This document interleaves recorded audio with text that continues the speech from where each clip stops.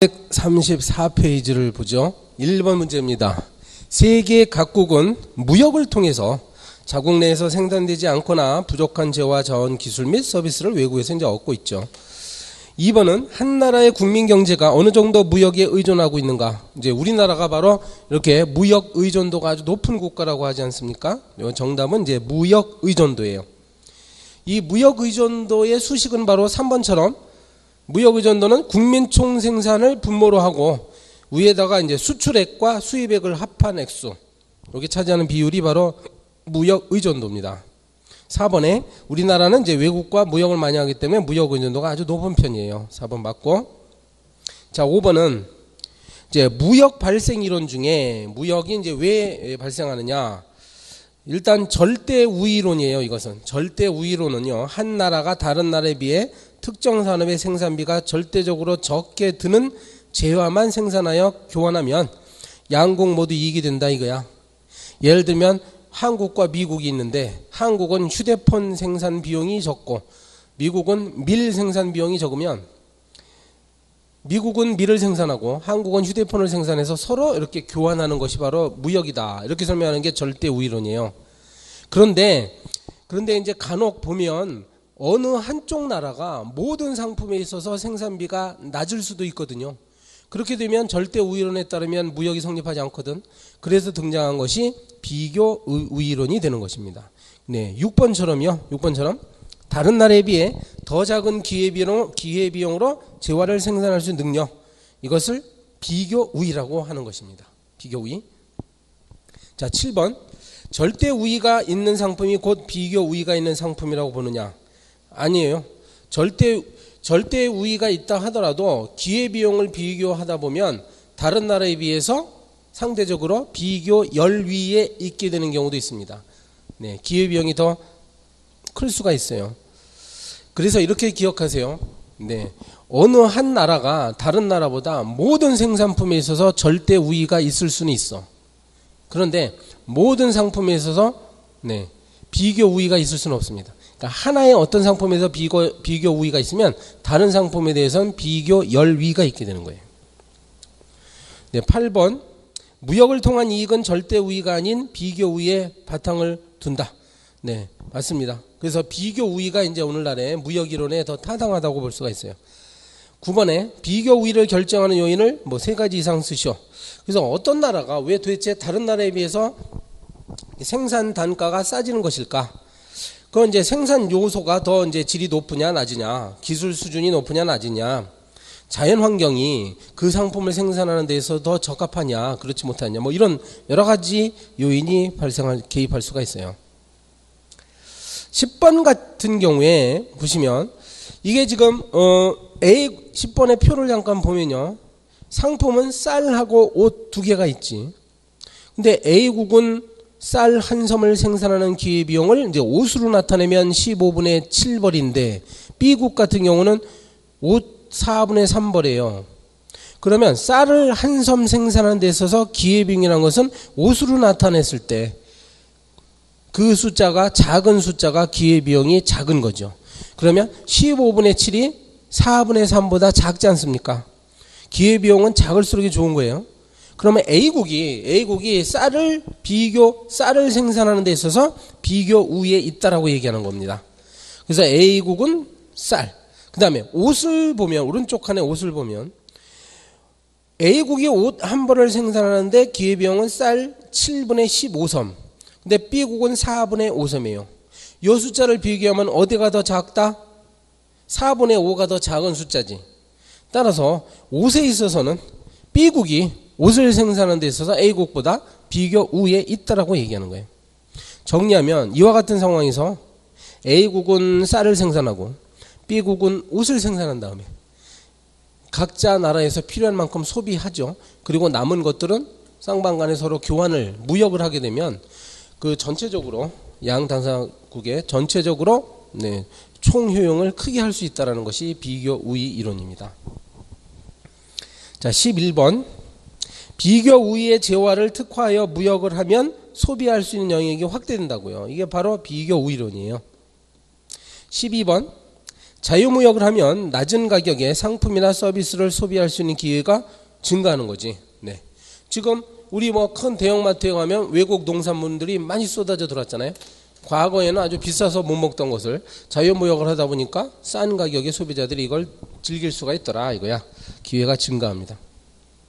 13번은 자유무역을 하면 국내 가격이 국제 가격 수준으로 상승할 수는 있어요. 그래서 수출국의 생산자들은 네, 이익을 볼 수는 있죠. 그리고 소비자들은 손실을 볼 수가 있습니다. 네, 국내 가격이 뛸 가능성이 있어. 자유무역을 하면 가격이 서로 이제 서로 비슷한 가격으로 수렴되다 보니까 이 경우 소비자들이 손실 볼 가능성이 있는데 그럼에도 불구하고 자유무역이 이루어지는 이유는 국내 소비자들이 보는 손실을 넘는 초과하는 이 생산자들의 이익이 존재하기 때문에 그렇습니다. 14번은 자유무역을 하면 수입국의 경우 상품 수입으로 국내 가격이 국제 가격 순으로 하락할 수도 있어요. 반대 방향으로. 그렇게 되면 소비자는 오히려 이익을 보죠. 그러면 생산자는 국내 생산자는 손실을 볼 가능성이 있죠. 근데 이러한 경우도 국내 생산자의 손실보다 국내 소비자의 이익이 더 크기 때문에 자유무역이 이루어진다고 보는 겁니다. 15번 보호무역 정책을 실시하는 근거가 뭐예요? 자국민의 실업을 방지한다. 그러니까 국내 산업을 보호하면 일자리가 보존되니까 그리고 그 막 성장기에 있는 산업, 즉 유치 산업을 보호한다는 것이고 외국이 우리나라에 대한 불공정한 무역에 대응해서 우리가 관세 장벽을 높인다거나 이런 식으로 보호를 하는 것입니다. 그리고 쌀이나 무기와 같은 네, 국가 안전과 관련되는 상품들을 보호하기 위해서 우리가 생산하기 위해서 네, 보호무역을 정책 보호무역 정책을 실시합니다. 16번 자 다음 중 행정적 규제 수출 보조금 지급 수입 할당제 관세와 관련된 것들 순서로 나열하시오. 뭐 순서로 나열하지 말고 하나하나 봅시다. 기억은 뭐에 해당합니까? 기억 보시면 기억 상대국이 수출할 수 있는 수량을 제한하거나 자국의 수입 기업에게 수입량을 정해줍니다. 여기서 미국산 TV 금년에는 20만 대 이상 못 들어온다. 이런 식으로 딱 수량을 정해주는 거. 이 기억을 바로 수입 할당제라고 얘기하죠. 수입 할당제. 쿼터제. 자, 니은은 무역을 통해 거래되는 재화가 국경을 넘을 때 세금을 부과하는 걸 뭐라고? 이건 쉽죠. 관세죠. 이게 관세. 자, 딕은 수출 기업에 조세를 감면하고 낮은 이자를 지급해 준다. 저리로 융자해 준다. 그럼 이런 것들을 수출 보조금 지급이라고 얘기하는 겁니다. 그래서 수출을 진흥시키고 복잡한 통관 절차나 통관 기준을 강화해 버립니다. 네, 중국산 제품 막 들어올 때 아주 검열을 까다롭게 해가지고 네, 중국산 제품이 함부로 수입되지 못하도록 아예 막아버린다. 이런 걸 이제 행정적 규제를 강화한다라고 얘기하죠. 439페이지로 가겠습니다.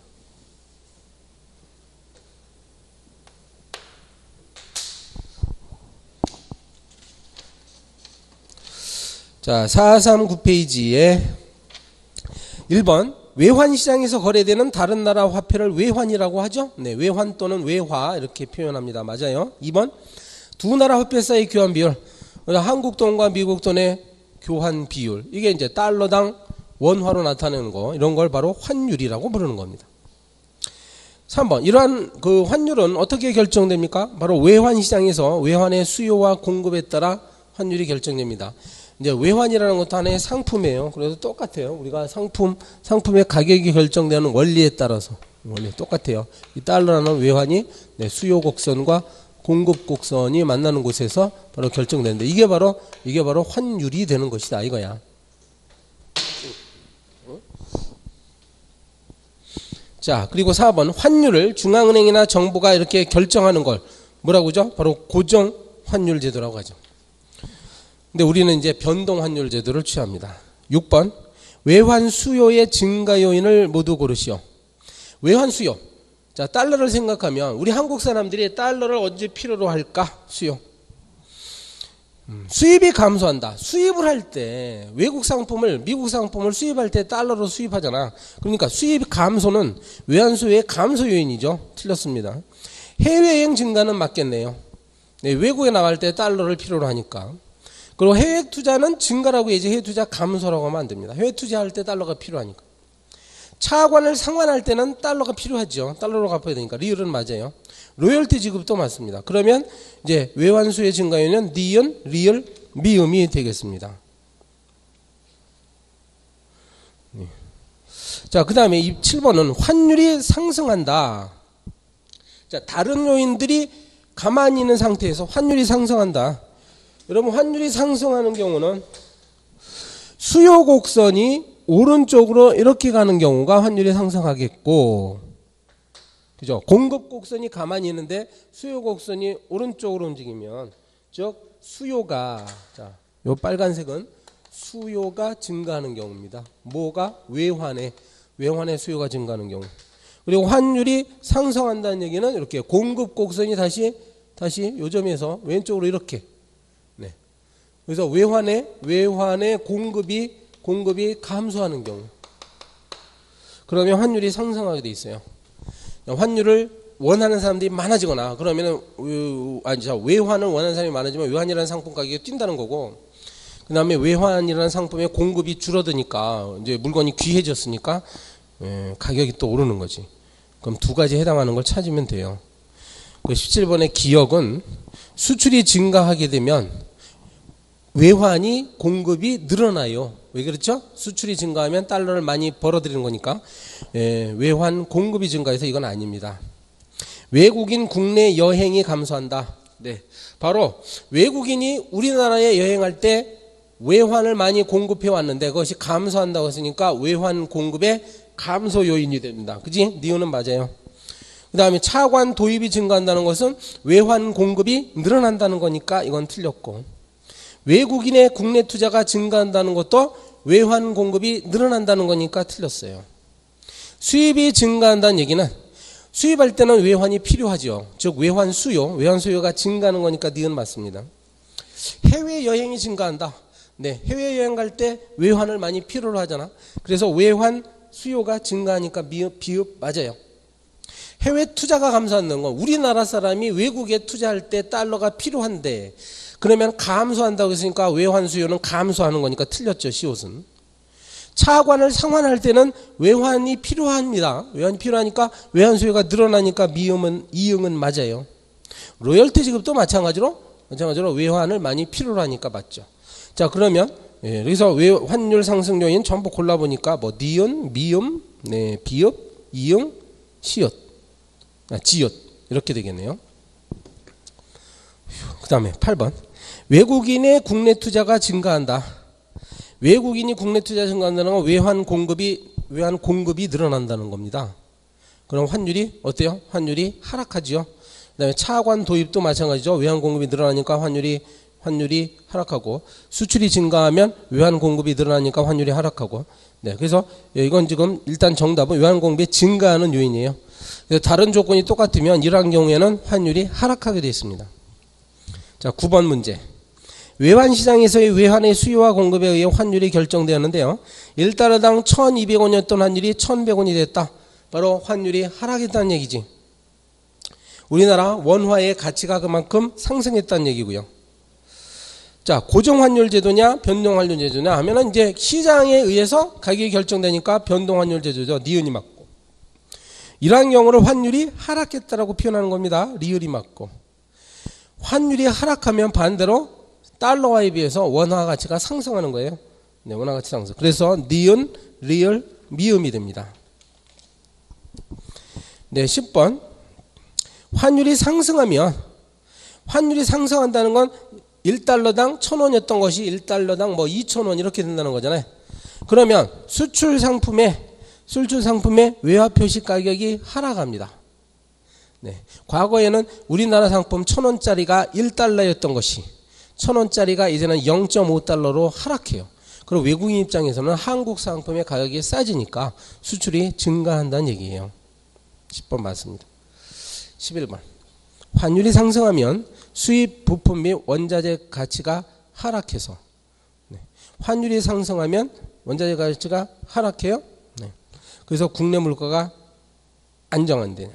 요건 환율이 하락한다고 해야 돼요. 11번 틀렸는데요.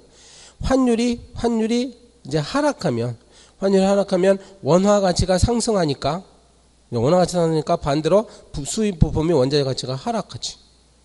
네. 그래서 국내 물가가 안정됩니다. 그다음에 환율이 상승하게 되면 내국인이 해외 여행 경비가 증가해야 돼요. 똑같은 1달러를 살 때 우리가 돈이 그만큼 많이 들어가니까 해외여행이 감소하게 되겠습니다. 13번 환율 하락으로 원화 가치가 상승하면 외채 상환 부담이 그만큼 감, 감소하는 거예요. 우리나라 돈의 값어치가 상승했다는 얘기는 네, 그만큼 외채를 상환할 때 덜 주어도 된다는 얘기예요. 그래서 외채 상환 부담이 감소하는 거죠.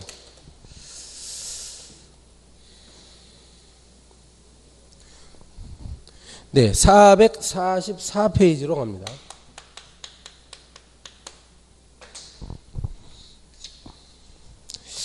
음, 이제 이제 국제 수지 이야기네요. 자, 1번 문제. 1년을 기준으로 국내로 들어온 돈과 외국으로 나간 돈을 외화로 표시하면 네, 이런 걸 바로 국제 수지라고 얘기합니다. 외화 단위로 표시하면 국제 수지.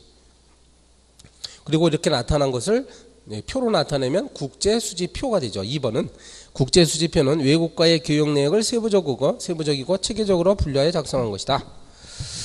그래서 이제 분류하는데 3번처럼 뭐 경상수지 이렇게 뭐 나눌 수 있습니다. 그래서 이제 경상수지 속에는 네 가지가 있죠. 상품수지, 네, 상품수지, 서비스수지, 본원소득수지, 이전소득수지. 그 나머지 거 니은과 리을은 자본금융계정이라고 부르죠.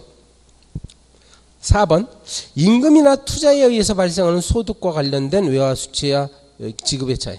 그러니까 한국인이 외국에 가서 외국에 가서 노동을 함으로써 벌어들이는 도, 돈 네. 이런 것을 바로 뭐라고요? 본원소득 수지라고 하죠. 본원소득 수지. 5번 상품을 수출하여 벌어들인 외화와 외국 상품을 수입할 때 그만 외화의 차이를 이게 뭐 상품 수지고요. 6번에 아무런 대가 없이 주고받는다. 네. 아프리카의 난민들을 원조한다. 그래서 우리가 돈을 준다라고 하면 이것은 이것은 이전 소득 수지라고 합니다. 7번 투자 등 자본 거래의 결과로 나타나는 외화의 수치와 지급을 표시한 것. 투자 등 자본 거래라고 해서 자본 금융 계정이에요. 자본 거래니까 자본 금융 계정. 8번에 경상수지는 경제 전반에 미치는 영향이 크기 때문에 일반적으로 국제수지는 경상수지를 의미하는 것입니다. 9번 벌어들인 외화가 지급한 외화보다 많으면 경상수지는 이제 외화를 우리가 많이 보유하고 있다 해가지고 흑자에 돌아서 흑자. 근데 지급한 외화가 많으면 빠져나가는 돈이 많다는 거니까 이것은 적자라고 표현하는 거예요. 10번 경상수지 흑자와 관련된 것들을 골라봐라. 음. 경상수지 흑자 상태가 되게 되면 고용이 확대가 됩니다. 그리고 국민소득 증가로 경제가 활성화돼요. 니은 도 맞아요. 국가 신인도가 상승됩니다. 그래서 외국인이 우리나라에 막 투자를 하고 차관 외국으로부터 돈을 빌릴 때 아주 용이하다. 차관 도입이 용이해집니다. 근데 왜그 외화가 공급이 많아지면 통화량도 증가해요. 그래서 디귿 틀렸어요. 통화량을 증가시킵니다. 왜 그렇죠? 예, 외화 대신 외화하고 한국화가 교환이 되다 보니까 한국 우리 원화의 통화량이 늘어나는 거야. 리을은 교역 상대국이 가만히 있죠. 그래서 무역 마찰이 심화될 수 있습니다. 우리 보고 이제 시장을 열어라 이거지. 무역 시장을 열어라. 그래서 리을 맞고 미음. 외채 증가로 외채는 감소할 수 있어요. 그래서 원금이나 이자 상환 부담이 또 감소합니다. 비읍도 틀렸죠. 대외 신용도는 상승할 수가 있어요. 11번. 설비 투자에 필요한 자본재의 수입이 증가하면 아 증가하는 경우 발생하는 경상수지 적자. 네.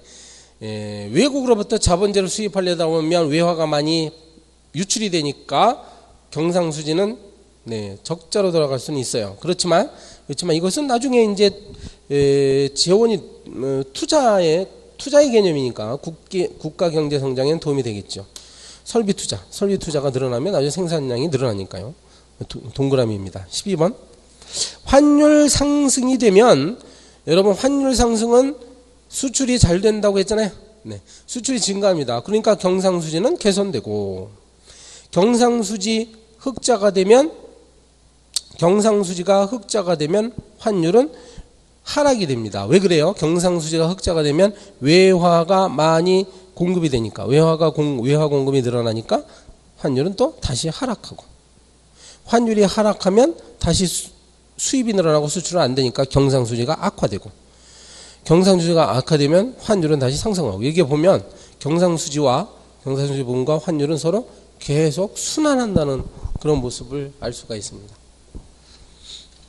경제라는 것은 이렇게 계속 움직이는 겁니다.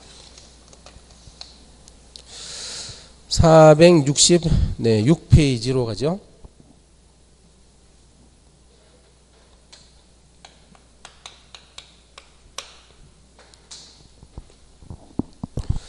국가 간의 상품, 자본, 노동 등이 네, 자유롭게 이동해서 국경 없는 경제로 통합되는 것을 우리가 아주 흔히 세계화라는 말로 표현합니다.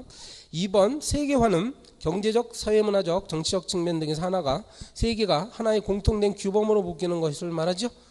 네, 맞죠? 3번은 세계화로 인해 경제의 대외 의존도가 심화되면 금융시장이 불안해지기도 합니다. 네. 그래서 지금 그 유럽발 금융 경제가 금융 위기가 전 세계적으로 확장이 돼가지고 지금 어, 큰 타격을 입었잖아요. 우리나라와 마찬가지. 맞습니다. 한번 4번 지리적으로 가깝고 경제적으로 상호 의존도가 높은 국가들이 공통의 이해 증진을 위해 경제 블록을 만드는 거. 뭐 아세안이나 나프타 이런 이런 경우를 뭐라 그러죠? 네. 이것을 바로 경제 블록. 네, 지역주의라고도 얘기합니다. 그다음에 5번 다음에 해당하는 지역주의 경제협력체는 북미 3개국이 관세와 무역 장벽을 네, 폐지하고 자유무역권을 형성했다. 북미 3개국. 미국, 캐나다, 멕시코. 그러니까 나프타라고 부르죠. 북, 네, 북미 자유무역협정 나프타입니다. 그다음에 남미 국가 공동체로서 유럽 연합 수준의 정, 경제 및 정치 공동체 건설을 목표로 한다.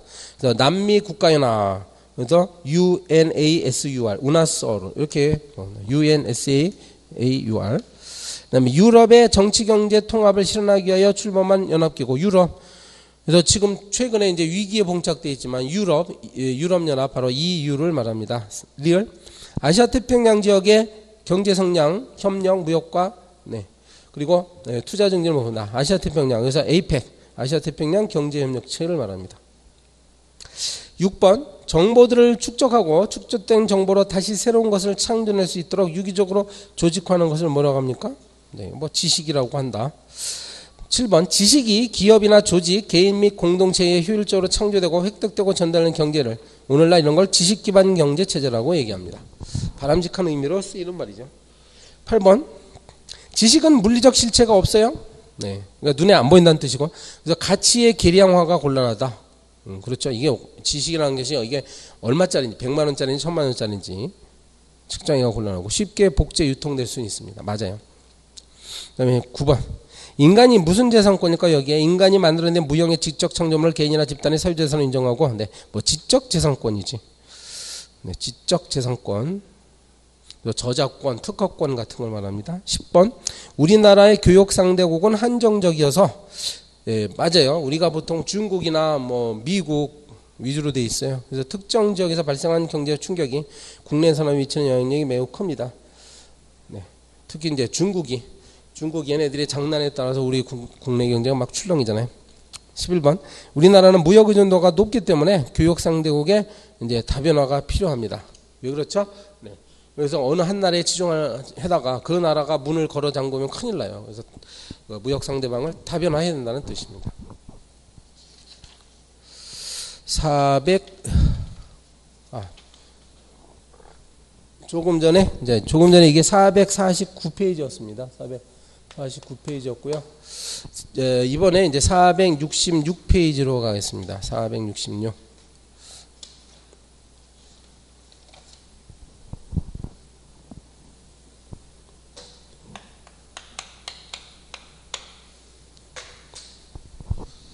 (466) 자, 1번 좁은 의미의 화폐는 재산이나 부, 소득이나 수입 등을 의미합니다. 네, 화폐 그러면 우리 여러분 지갑 속에 있는 그런 돈, 뭐 그게 화폐죠. 그러나 재산, 나는 저 사람은 재산이 많아, 저 사람은 수입이 많아, 뭐 이렇게 얘기할 때도 화폐를 얘기할 수 있어요.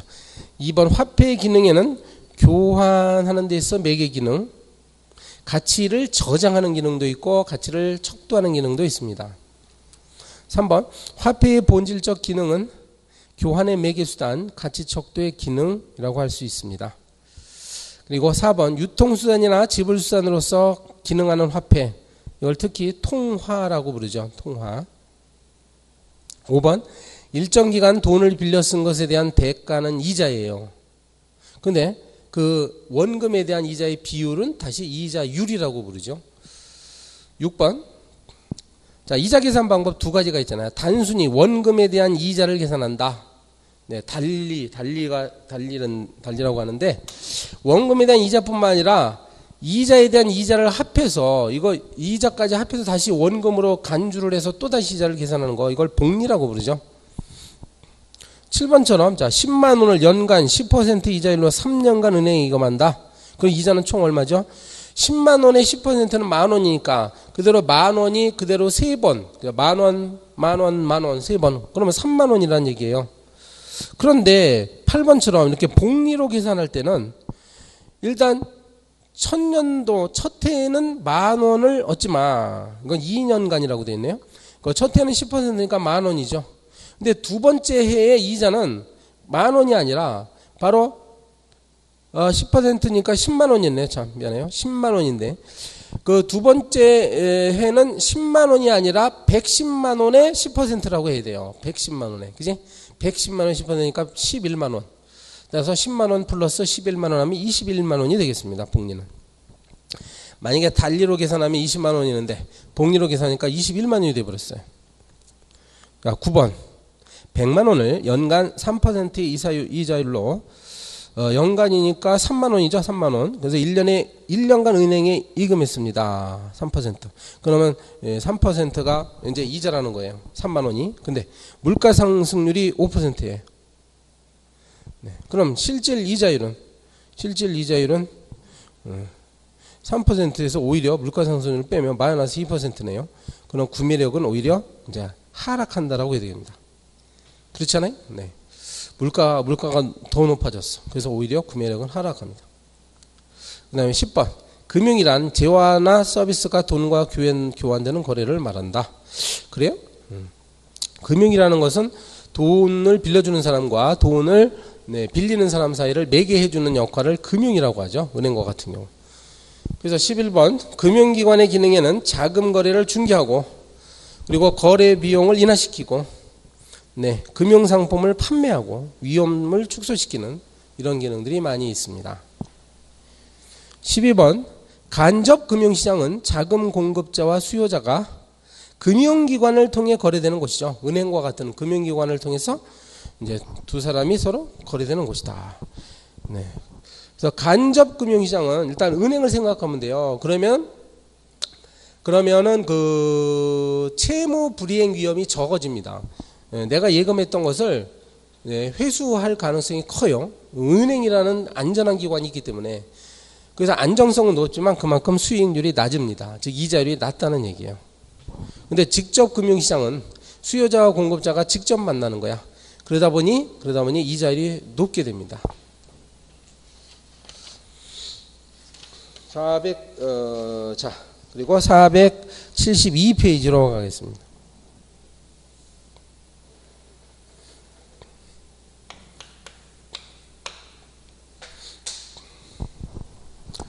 자, 1번.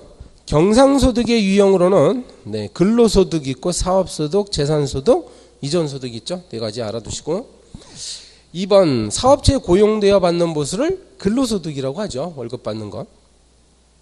3번 가계의 소득 중 퇴직금이나 경조금은 뭐 정기적으로 받는 것이 아니라 일시적으로 임시적으로 받는 거니까 이런 경우를 비경상소득이라고 얘기합니다. 4번 가계 지출 항목 중에서 소득세, 세금, 건강보험료 네, 이런 것은 무슨 뭐 소비 생활을 위한 지출이 아니죠. 이런 걸 비소비 지출이라고 얘기합니다. 5번 대출 상환. 그러니까 빌렸던 돈을 은행에다 은행으로부터 대출 받았다가 상환한다. 이거는 소비 지출도 아니죠. 소비 지출도 아니고 비소비 지출 아니고 특히 이런 것들은 기타 지출이라고 얘기해요. 6번 퇴직금, 상속재산 등은 생산활동에 직접적으로 참여하지 않고 무상으로 얻은 소득으로서 이전소득이에요. 음. 어, 이전소득은 뭐 사회보장금 같은 걸 말합니다. 그래서 이건 퇴직금이나 상속재산 이런 거는 비경상소득이라고 불러요. 그래서 퇴직금 상속재산은 아까 거기 뭐 뭡니까 그, 퇴, 그 경조금과 마찬가지로 비경상소득에 해당한다. 그리고 7번 저축한 돈을 미래의 가치 증식을 위해 자산으로 전하는 거. 네, 그냥 돈, 화폐 형태로 갖지 않고 뭐 부동산이나 동산 같은 곳으로 재산으로 바꾸면 그걸 투자의 개념이라고 하죠. 투자. 8번 처분 가능한 소득이 소비 지출보다 크면 네, 그거는 그거는 지출한 돈보다 아직 그냥 지출하고도 아직 남아 있으니까 이거는 흑자라고 얘기하는 것이고 9번 소득이 지출보다 적어 네, 소득이 지출보다 적어 돈을 빌릴 경우에는 그죠? 이게 돈이 부족하잖아요. 그럴 경우에는 네, 무슨 지출이 이자 지출이 발생하고 그리고 이에 따라 이제 부채가 증가한다라고 얘기하면 되겠습니다. 10번 장래의 어느 시점에서 부채를 상환하겠다는 약속에 대한 사회적인 평가 이게 신용이죠. 저 사람은 신용이 높아 그러면 빌렸던 돈을 빌리면 갚을 능력이 높아 이렇게 말을 하는 것이에요. 신용입니다. 11번 금융기관에서 고객이 대출금을 미리 갚을 경우 대출금을 줄 때 대출금이라는 것도 하나의 거래 활동이야. 은행이 대출 활동을 통해서 이윤을 얻고자 하는 건데 중간에 상환을 해버리면 그만큼 예상 소득이 예상 이윤이 줄어드는 거니까 수수료를 받습니다. 이걸 상환수 중도 상환 수수료라고 합니다. 12번 할부의 장점 나누어서 계산하니까 품질 향상 기대할 수 있다. 왜 그렇죠? 네, 품질이 만약에 나쁘게 되면 더 이상 나머지 잔금을 지불하지 않으니까 공급자는 품질을 좋게 할 수밖에 없습니다. 충동 구매를 방지해요? 아니죠. 오히려 충동 구매의 가능성이 높아집니다. 이자 지불은 늘어날 가능성이 있어. 할부로 하게 되면 할부 이자가 늘어나죠. 13번. 신용카드는 보유한 돈보다 더 많은 돈의 사용이 가능한 장점이 있습니다. 네. 지금 당장 지불하는 것이 아니기 때문에. 14번. 신용카드와 관련하여 가맹 수수료를 지급하는 거. 카드 가맹점이죠. 음식점 같은 카드 가맹점은 이제 카드 회사하고 계약을 통해서 카드를 그 카드 회사에 가맹하면 그러니까 카드 그 카드 회사 회원으로 가입하게 되면 그만큼 수수료를 지급합니다. 15번 개인의 금융거래 정보를 바탕으로 개인의 신용 상태를 관리하는 정보 이걸 신용 정보라고 얘기하고요. 478페이지로 가시죠.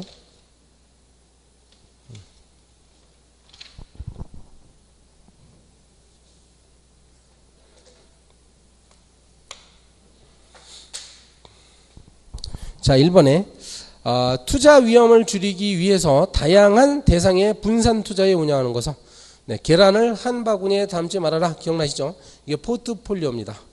그래서 그 투자를 할 때 뭐 예금, 네, 부동산, 뭐 주식 이런 식으로 분산 투자하는 거 포트폴리오. 2번 보통 예금이라는 건 가장 안정적이에요. 이제 언제든지 예금을 인출할 수 있는데 그만큼 수익성은 떨어진다. 이자율이 낮습니다.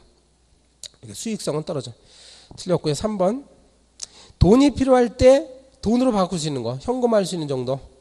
이거 환금성이라고 하는데 네, 현금 그리고 보통 예금 그 다음이고 정기예금, 주식 채권, 부동산. 부동산이 가장 환금성이 낮아요. 4번에 자산의 유동성 위험은 유동성 위험, 자산을 현금화하기 어려울 때 돈으로 바꾸기 어려운 위험을 유동성 위험이라고 합니다. 그래서 부동산인 경우가 부동산이 유동성 위험이 가장 커. 5번에 가격 상승, 배당 수익, 채권의 이자 수입 안정성 등은 이거 뭐 어, 무엇과 관련 있죠? 가격이 상승한다. 주식의 가격 상승, 배당 수익. 그러니까 수익성이 늘어난다고 보면 되네요. 수익성. 6번 자산 관리 위험의 유형 중에서 물가가 상승할 때 보유 자산의 가치가 하락할 위험. 이런 것을 바로 뭐예요? 내가 예금을 예금 예금 상품에 가입했는데 인플레이션이 일어나면은 그만큼 가치가 떨어지는 거야. 예금 상품에. 이거 인플레이션 위험이라고 합니다. 7번. 현금이나 예금 상품은 그래서 인플레이션 위험이 커요. 8번. 근데 부동산 같은 경우는 인플레가 일어나도 그 물가 상승분이 부동산에 반영되니까 그만큼 작고요. 8번. 부동산은 유동성은 낮아. 그죠? 현금화 할 수 있는 가능성은 낮지만 주식은 예금보다 수익성이 높죠. 그러니까 주식 그 주식회사의 경영이 경영이 확장되면 주식 가격이 막 뛰니까 예금보다 훨씬 높을 수 있습니다. 9번 채권자는 채권이란 건 투자자에게 경영 참가권이 주어지지 않죠. 채권. 채권은 돈을 빌려준 사람일 뿐이에요. 경영이 참가하는 건 아닌 겁니다. 채권자는 그냥 이자만 받을 뿐이지. 경영 참가할 수 있는 건 주주들을 얘기하지. 10번 펀드는 일반인이 직접 투자하는 상품이니까 일반인이 하는 게 아니라 전문 투자기관한테 돈을 주면 전문 투자기관, 운영기관이 네, 그 투자를 해서 그 수익을 투자자에게 돌려주는 것이 펀드예요. 11번. 기업이 돈을 빌리면서 상환 일시, 이자액, 이자 지급 일시 등을 명시하는 거. 이런 게 채권이라고 하고요. 네, 자금 조달을 위해서 회사 소유권의 일부를 투자해 준다. 이 투자가 바로 이제 주주가 되는 것이고. 그래서 증표를 주권이라고 얘기하는 거지. 12번. 다음에서 음, 요구불 예금. 네. 요구하면 즉시 인출할 수 있는 예금이 요구불 예금이에요. 요구, 예금자가 네, 다시 인출하겠습니다. 그럼 돈을 금방 내줘야 됩니다. 요구불 예금은 보통 예금 말이에요. 보통 예금. 직접 투자 상품, 직접 투자 상품은 채권을 얘기하는 것이고 저축성 예금은 정기 예금을 말합니다. 13번에 자동차 보험이란 건 손해보험이죠. 사고가 났을 때 그 손해에 대해서 예, 손해에 대해서 미리 보험에 가입하는 게 손해보험. 국민연금, 개인연금, 특수직영연금 이런 것들은 연금인데 연금이긴 한데 음, 개인연금이란 건 개인이 개인이 민간 금융기관에다가 드는 연금으로서 이것은 뭐 사적인 연금에 속합니다. 네, 이렇게 해서 경제 파트가 끝났고요. 다음 시간에 계속 사회문화 파트로 넘어가겠습니다.